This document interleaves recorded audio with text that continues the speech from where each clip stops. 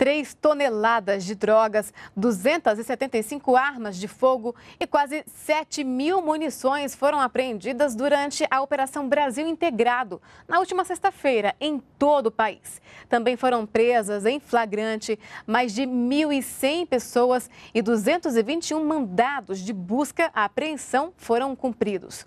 Participaram da ação mais de 26 mil profissionais de segurança.